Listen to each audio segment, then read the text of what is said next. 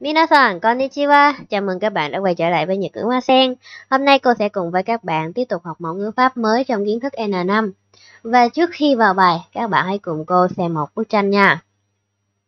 Đầu tiên cô có hình ảnh của chị Sato.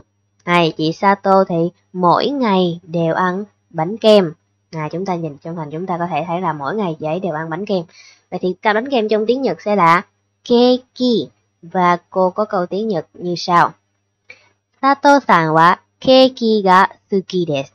Bạn Sato thì thích bánh kem Ừ, bởi vì ngày nào chị ấy cũng ăn hết. Nè. Rồi, tiếp theo cô có hình ảnh của bé Teresa. Bé Teresa thì ghét rau củ. Ừ, câu đó cô sẽ nói là Teresa chan wa yasai ga kirai desu. À, bé Teresa thì ghét rau củ. Hôm nay cô sẽ cùng với các bạn tìm hiểu về Suki và Kidai. À, có nghĩa là thích hoặc là ghét cái gì đó trong tiếng Nhật. Hay, trong tiếng Nhật thì cô có cấu trúc ngữ pháp như sau. Danh từ đi với trợ từ gá à, và Suki des hoặc là Kidai des. Có nghĩa là thích hoặc là ghét cái gì đó. Thích thì sẽ là Suki des, còn ghét là Kidai des. À, dùng khi nói thích hay là ghét một cái gì và dùng đi chung với trợ từ gá Ừ, thích hay ghét cái gì đó thì dùng với trợ từ gã.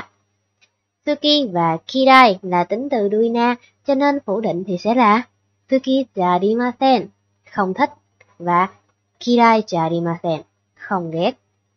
Hay để tìm hiểu cụ thể hơn về à, Suki và Kirai, các bạn hãy cùng cô đến với ví dụ sau đây.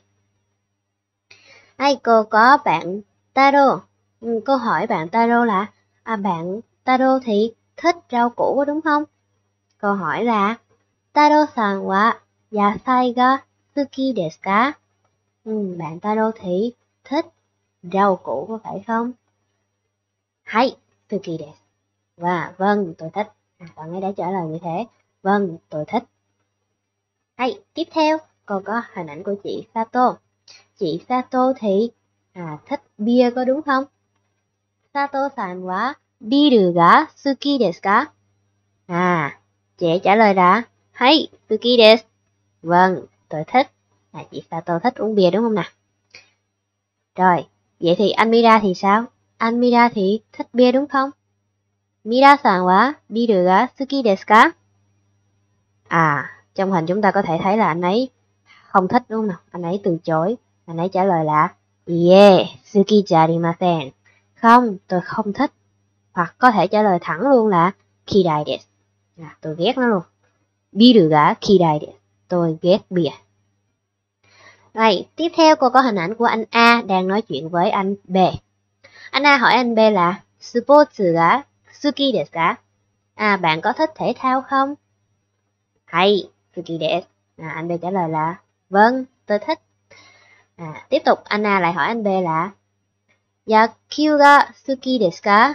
や、サッカーが好きですか À, tennis が好きですか Bạn có thích bóng chày không? Bạn có thích bóng đá không? Bạn có thích tennis không? Vân vân và vân vân. Nếu như hỏi theo kiểu của Anna thì nó câu nó rất là dài. Cho nên là chúng ta có cách hỏi khác ngắn gọn hơn. À, chúng Anna sẽ hỏi là Donna sports ga suki desu ka? À, Donna sports ga suki desu ka? À, bạn thích môn thể thao như thế nào? À, và anh anh B trả lời rằng là Sakara Suki desu. Tôi thích môn bóng đá. Trong trường hợp này chúng ta chỉ cần trả lời là cái tên cái môn thể thao mà chúng ta thích đi với trợ từ gá và Suki desu thôi.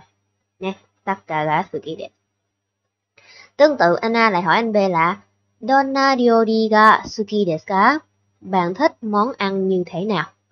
À, anh B trả lời rằng là Indono Diori ga suki desu tôi thích món ăn của Ấn Độ. Uhm, ví dụ như là cà, cơm cà ri đúng không nào? Hay. Tiếp theo, Anna lại hỏi anh B là Donna nomimono ga suki desu ka? Bạn thích đồ uống như thế nào? Hay. Anh B trả lời rằng là Juice ga suki desu. Tôi thích nước ép trái cây. Hay, các bạn đã nắm được chưa nào? Bài hôm nay chúng ta đã tìm hiểu về à, Suki và Kidai, ừ, thích hay là ghét cái gì đó. Thích hay ghét cái gì đó thì dùng trợ từ gã. Hay, Bài học chúng ta đến đây là kết thúc rồi. Cảm ơn các bạn đã quan tâm theo dõi. Hẹn gặp lại các bạn vào bài học tiếp theo. Dạ, mata kondo onegai shimasu. Arigatou gozaimashita.